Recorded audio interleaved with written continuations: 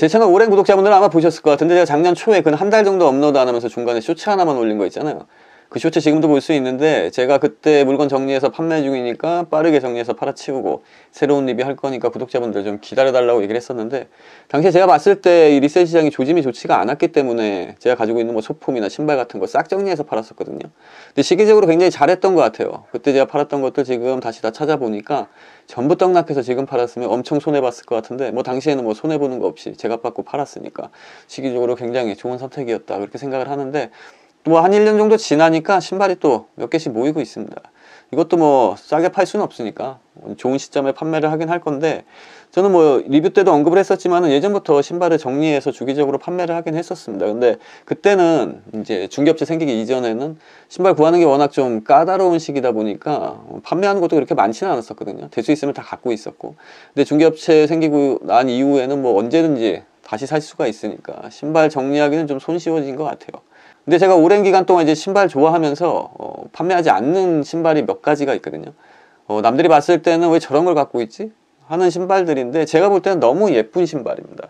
어, 그 중에 하나가 이 신발입니다.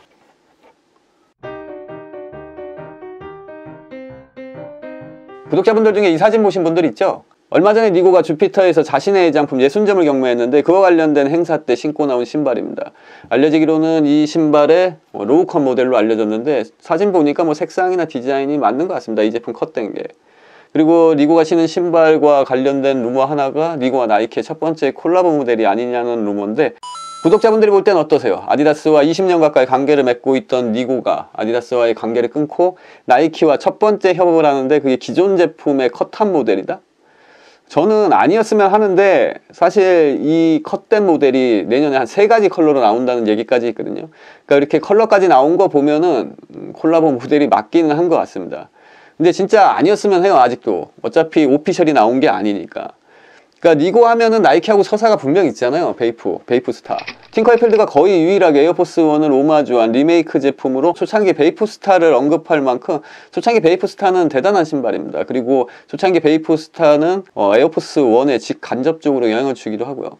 그러니까 그런 베이프 스타를 만들었던 니고가 진짜 나이키하고 손잡고 니고 맘대로 각 잡고 한번 만들면은 어떤 모델이 나올까 기대를 했었는데 사실 올 초에 니고하고 나이키하고 콜라보 한다는 얘기가 나왔을 때 많은 매니아들이 아마 기대했을 겁니다. 진짜 니고가 제대로 만들면 어떤 에어포스 1이 나올까 근데 첫 번째 콜라보 모델로 루머 도는 게 기존 제품을 컷한 거다? 좀 아쉽기는 합니다. 근데 뭐 어찌됐든 간에 이 제품 컷한 모델은 저는 상당히 예쁠 거라고 생각을 하거든요. 어, 이 제품 뭐 보신 분들도 있을 건데 색감 하나는 진짜 끝내주는 신발입니다. 그리고 이 제품이 신었을 때 이 목 때문에 굉장히 불편한데 이 컷하면은 오히려 편하고 디자인도 훨씬 더 잘 나올 것 같거든요. 음, 아무튼 저는 기대하고 있습니다. 이 제품의 low cut 모델을.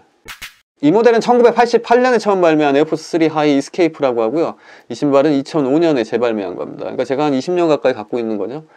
음, 저는 신발 wrapping을 잘 안 하는 편인데 얘는 올 초에 wrapping을 좀 했습니다. wrapping을 할 수밖에 없었던 게 sole이 맛이 갔습니다. 그러니까 wrapping 안 하면은 sole이 완전히 부서져 버리기 때문에 이게 모양을 유지하려고 wrapping을 한 건데 구독자분들 중에 이 신발 보신 분들은 아마 음, 색감 좋은 거는 인정하실 겁니다. 그러니까 제가 이런 비주류 모델, 그러니까 남들이 이렇게 좋아하지 않는 제품을 20년 가까이 갖고 있었던 이유는 이 색감 때문이거든요. 실제로 보면 진짜 끝내줍니다. 너무 예쁩니다.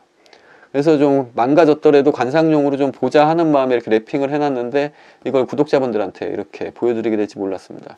뭐 이렇게 된 마당에 내년에 low cut 나오면은 low cut하고 비교 영상도 좀 찍고 뭐 그때까지만 좀 갖고 있다가 버리는 걸로 하고 제가 이 신발을 2019년까지는 신었거든요. 1년에 그러니까 몇 번씩은 꾸준히 신었습니다. 근데 2020년부터 이거 신느라고 어, 얘를 신어야 되는데 얘 신느라고 몇 년 안 신었더니만 작년에 제가 신발 그 판매하려고 정리했을 때 봤을 때만 해도 괜찮았거든요 소리 근데 올 초 보니까 완전히 맛이 갔는데 불과 1년 사이에 훅 갑니다 그냥 그러니까 구독자분들도 그 좋아하는 신발일수록 아끼지 말고요 자주 신으십시오 많이 그게 그 신발 그 상태 그대로 오랫동안 신을 수 있는 방법입니다 그래서 저처럼 이렇게 아끼면 똥되니까 음, 좋아하는 신발일수록 구독자분들은 많이 오랫동안 신으십시오 그럼 저는 더 좋은 영상, 더 좋은 리뷰 찾아올 거니까 구독 안 하신 분들은 구독 부탁드리고요.